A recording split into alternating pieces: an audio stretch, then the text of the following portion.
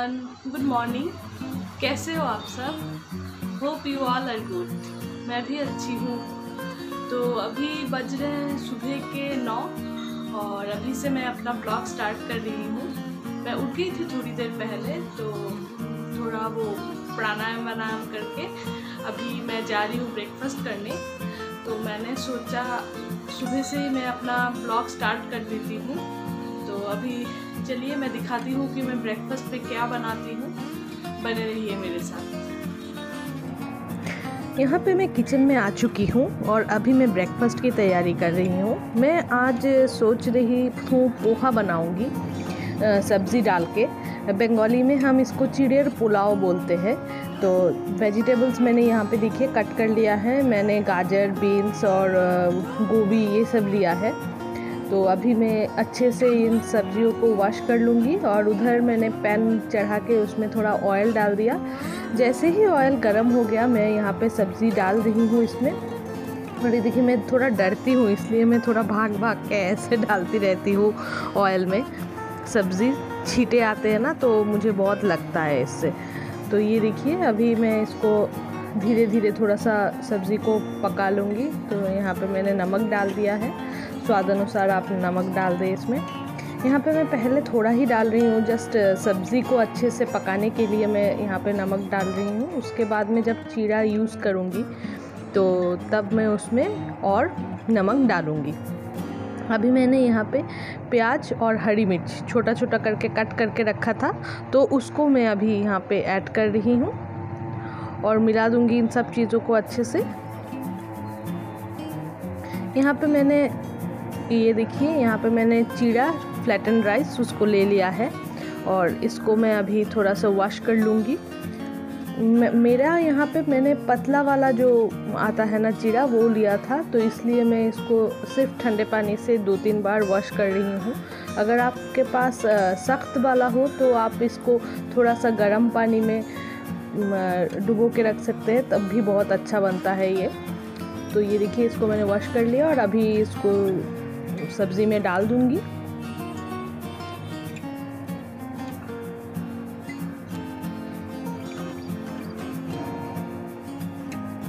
और अभी अच्छे अच्छे हल्के हाथों से इसको मिला दूँगी।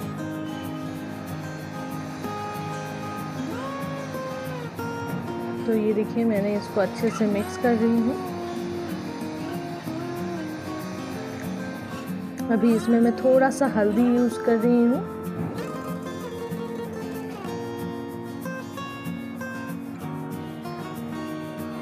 आप हल्दी के बिना भी इसको बना सकते हो। मैं थोड़ा कलर के लिए यहाँ पे हल्दी मैंने यूज़ किया है।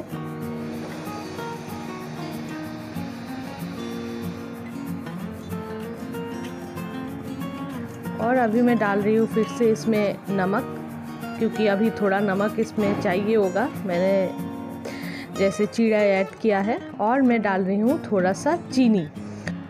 ये डिश ना थोड़ा मीठा, थोड़ा नमकीन ऐसे बनता है तो इसलिए इसमें चीनी डालना बहुत ज़रूरी है, तब जाके इस डिश का असली टेस्ट आता है।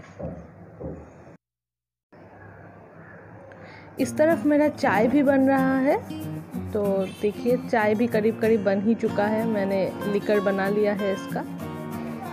तो हमारा ब्रेकफास्ट अभी रेडी है, हम चाय और ये पोहा लेंगे ब्रेकफास्ट में।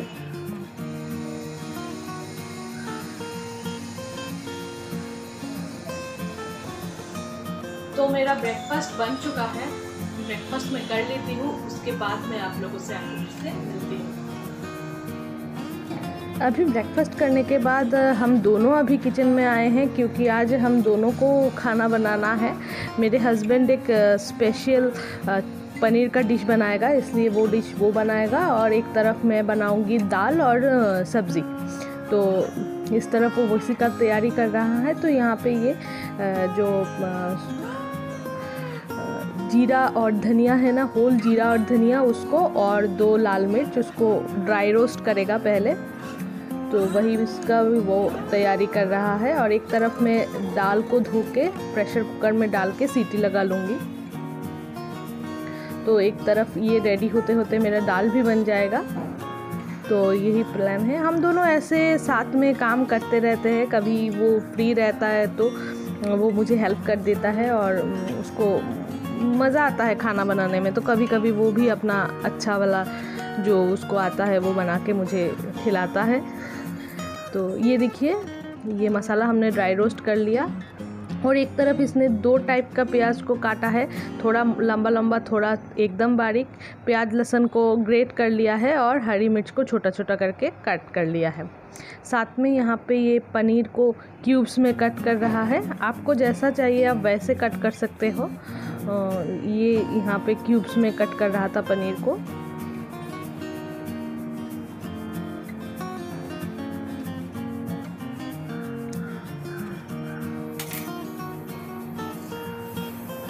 अभी ये देखिए, वो जो मसाला है, उसको मैंने सूखा ग्राइंड कर लिया और थोड़ा सा पानी डाल के इसको मैं पेस्ट बना लूँगी।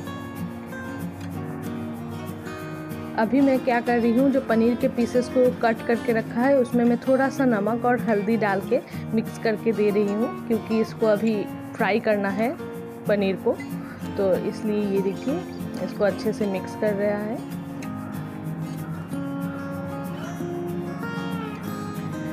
तो मैंने इसको मिक्स करके दे दिया। अभी पनीर को धीरे धीरे अच्छे से फ्राई करना है।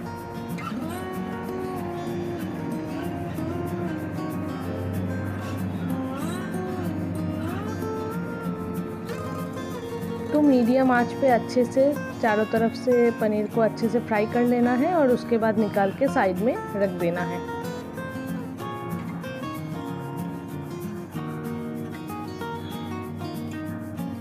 अभी थोड़ा सा ऑयल और ऐड करना है। और इसमें जाएगा एक तेज पत्ता थोड़ा सा जो कटा हुआ प्याज लहसुन, अदरक और हरी मिर्च, वो सब यहाँ पे जा रहा है, एक एक करके। अभी इसको अच्छे से मिक्स कर देना है।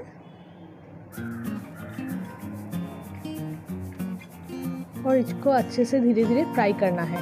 इसमें अभी टोमेटो भी ऐड कर दिया है।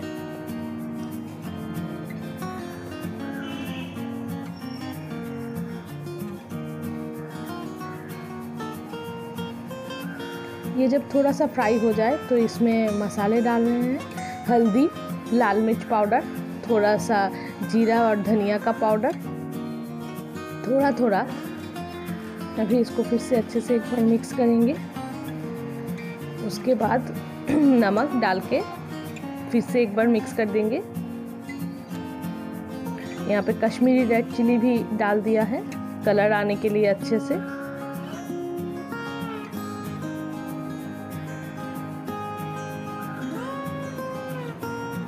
अभी इसमें जा रहा है बटर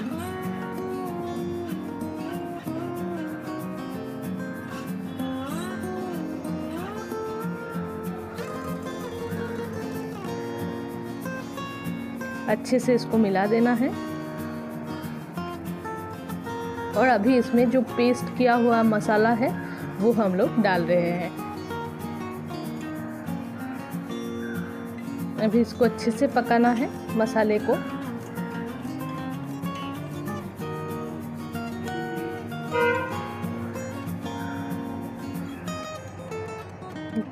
ये देखिए ऑयल अलग हो चुका है, मसाला अच्छे से पक चुका है। इसमें अभी थोड़ा सा गरम मसाला पाउडर ऐड किया है। फिर से इसको अच्छे से मिला के अभी इसमें आपको जितना करी रखना है, उस हिसाब से पानी डाल देना है। और पानी डालने के बाद पनीर डाल के पाँच मिनट जस्ट बॉयल करना है और आपका डिश रेडी हो जाएगा। तो ये देखिए, मसाला अच्छे से पक गया है। अभी इसमें पनीर को ऐड कर देंगे। मिला देंगे अच्छे से पनीर को।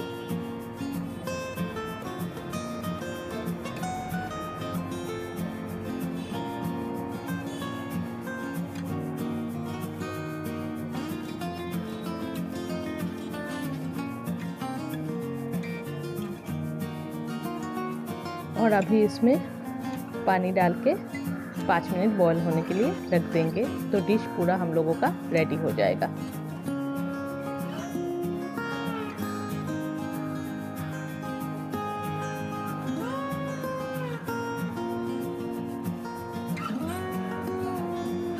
तो यहाँ पे ये बन चुका है।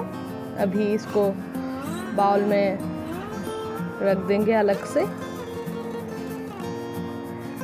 तो ये बिल्कुल रेडी हो चुका है।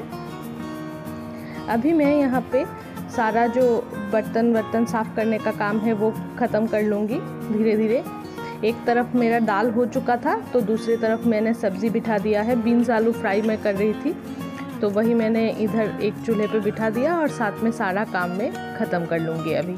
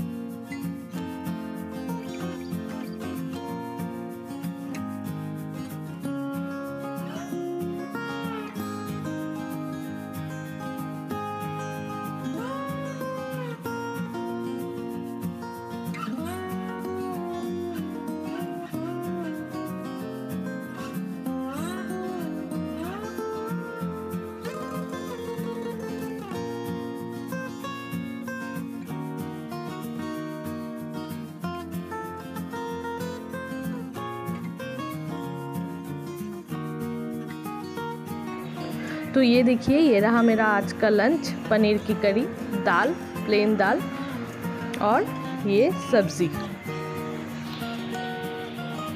तो आपको मेरा वीडियोस कैसा लग रहा है ज़रूर बताना और चैनल में नए हो तो प्लीज़ सब्सक्राइब माय चैनल आपको ऐसे अच्छे अच्छे वीडियो और भी मिलते रहेंगे। लाइक कीजिए कमेंट कीजिए और मेरे चैनल को आपके दोस्तों के साथ शेयर भी कीजिए। मिलती हूँ फिर से एक नए ब्लॉग के साथ। तब तक के लिए बाय